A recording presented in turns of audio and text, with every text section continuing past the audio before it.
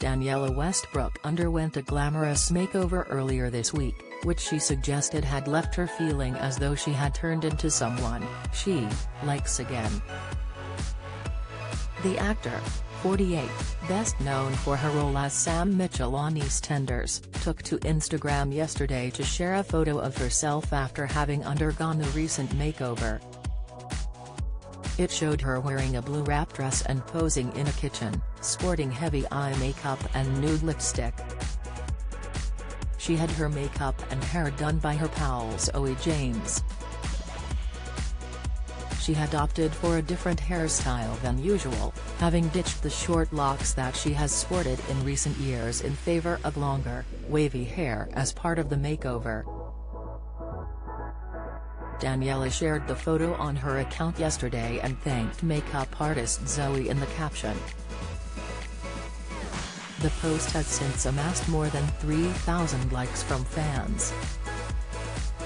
Zoe, who has worked with other celebrities including Katie Price over the course of her career, shared photos of Danniella on her own account following the makeover.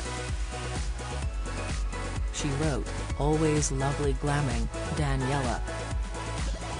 The makeup artist further commented in the caption of post this week, she is, so down to earth and always have a laugh.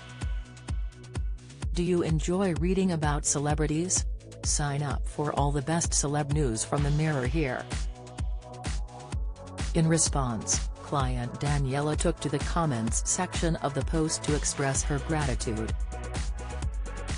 She wrote, Thank you for turning me into someone I like again. Danniella appeared to like the photo so much that she has even now made it her latest profile photo on Instagram.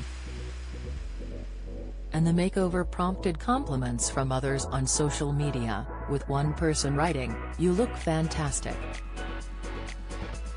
Whilst another said, wow absolutely incredible. You look amazing, said a third person in response to one of the photos on the platform recently.